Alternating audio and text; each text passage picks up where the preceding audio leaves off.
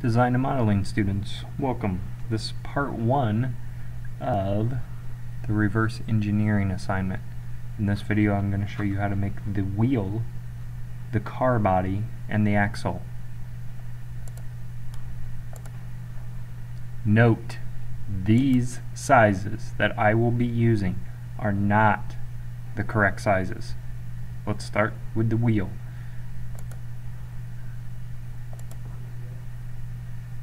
Circle.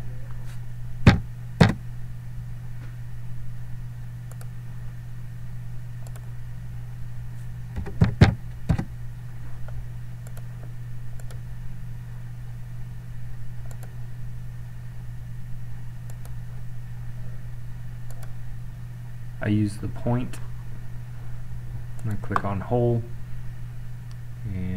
this is where you change the size of your hole. I want it to be 0.25 so all I need to do is say OK. There's my wheel. You need to save your wheel. Save as. Call it wheel. And put the date on there. Save it to the desktop. Always make sure it's going to the desktop so you can find it later. Save. Click on the house, the little home button, start a new part. I'm going to make the car body.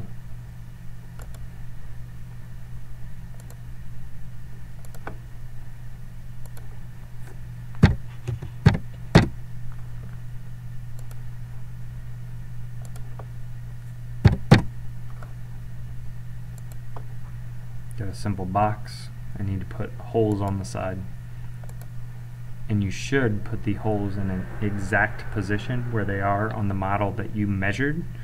So I will show you how to do that. I'm going to use a point to just simply drop my my uh, starting pl places on there.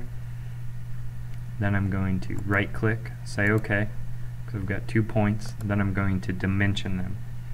So I want them a certain distance from this edge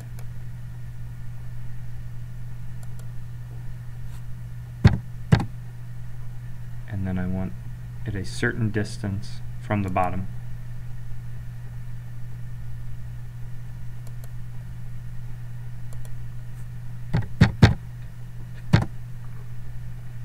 So let's watch that again. I'm dimensioning from the point to the edge and then I'm dimensioning from the point to the bottom.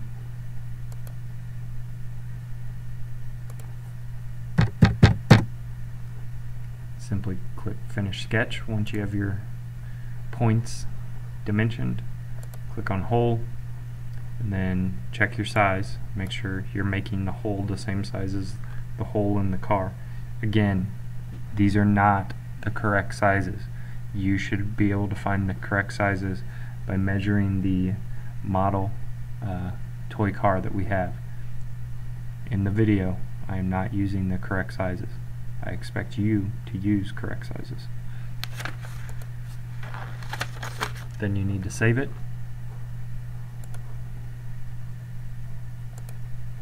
So, File, Save As, call it Body, and then put the date on it, please.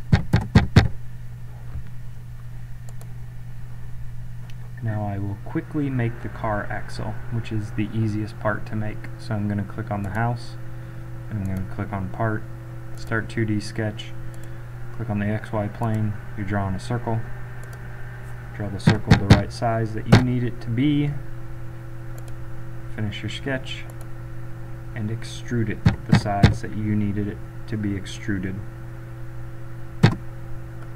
Then save it.